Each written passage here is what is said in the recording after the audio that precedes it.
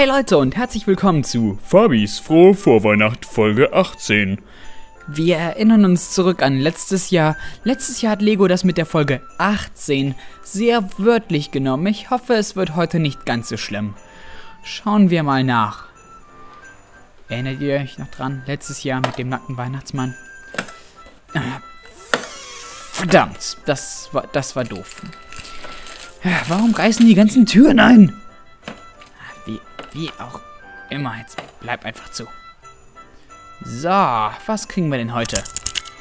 Ernsthaft, noch ein Dieb? Ja, aber ich bin der besonders schlaue Dieb und weil ich zwei Brecheisen habe, kann ich doppelt so schnell in ein Haus einbrechen. äh, das sind auch gar keine Brecheisen, sondern in Wirklichkeit äh, rote Schlangen. Ha? Oh mein Gott, ein Glück, dass du mich gewarnt hast, sonst hätte ich... Moment. also Leute, nicht vergessen, auch wenn ihr professionelle Bankräuber werden wollt, für alles braucht man einen gewissen Intelligenzquotient oder zumindest das nötige Vorwissen.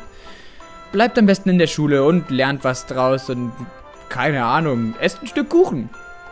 Also Leute, macht's gut und bis morgen. Euer Fabi von Lego Stein 13.